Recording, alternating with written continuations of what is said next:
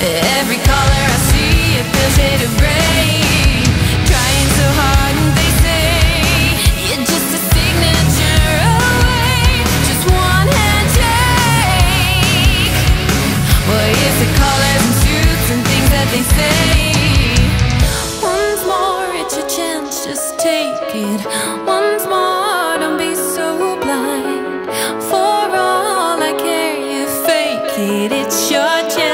shine.